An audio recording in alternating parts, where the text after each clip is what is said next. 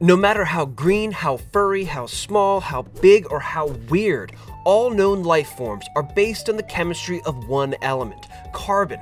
But why carbon? And if we look out to the stars, could there be a fundamentally different kind of life out there?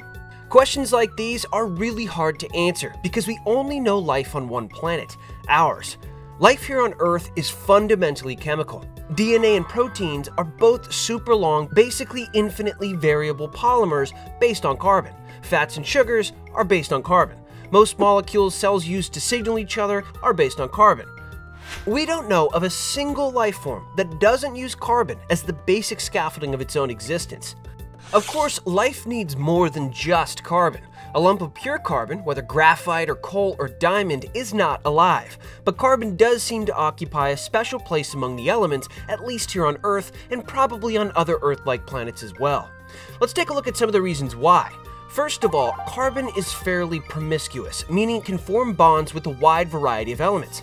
In this drug, carbon is married to other carbons, oxygen, chlorine, nitrogen, sulfur, and hydrogen. Secondly, carbon can bond a bunch of different ways. It can form incredibly stable bonds with some elements like hydrogen, and it can form less stable, more reactive bonds with others like oxygen. Carbon can form tetrahedral, aka diamond like shapes, it can form flat rings, and it can even form molecules that look like those rickety beach lounge chairs you constantly fell off in the 90s.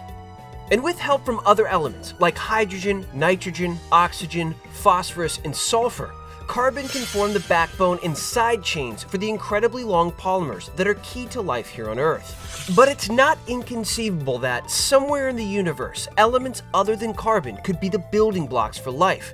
Silicon, right below carbon on the periodic table, and therefore with some similar chemical properties, has popped up as a potential alternative. Silicon shares a lot of similarities with carbon, including its ability to bond to oxygen and to create long polymers. But it has some major setbacks. First, silicon struggles to create multiple bonds because of its size, and the bonds it does make are much less stable. But what really puts the nail in the coffin is that when oxidized, silicon creates a solid, silicon dioxide, otherwise known as sand. Whereas when carbon is oxidized, it creates a gas, which is easy for plants to access and make sugar from. While silicon has stoked the imagination of science fiction writers, the scientific community has yet to find enough evidence to suggest the potential of silicon based life. Some life can already use silicon, though, like in these beautiful shells, and scientists are evolving organisms that use it in other ways too.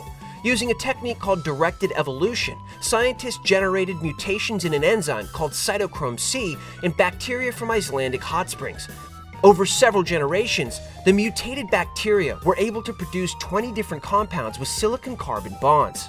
Finding alien life forms outside of our solar system is hard, and not just because it would take forever to get to any Earth like exoplanets. In theory, astrochemists can measure different wavelengths of light traveling through an exoplanet's atmosphere to get a sense of what chemicals that atmosphere is made of. If we see a lot of small molecules floating around, like oxygen or methane, that could mean that there's life down on the surface. But trying to measure the light signature from a planet trillions of kilometers away when it's sitting right next to or right in front of a star as bright as our own sun is a chemical trick we haven't quite figured out yet. Inside our solar system, we've got other options. There are places that used to have or still have liquid water, and that's a good first step since all life we know uses liquid water. Scientists speculate that non water life might be out there too. Titan has seas of liquid methane and ethane, and it could be that life has figured out how to chill on Saturn's largest moon. Get it? Chill? Because the average surface temperature of Titan is negative 180 degrees Celsius, so it would have to be chill. There, I did it again. What do you think, folks? Can you imagine silicon based life on other planets? Any interesting takes on new life? Let's get a discussion going down in the comments, and we'll see you again soon.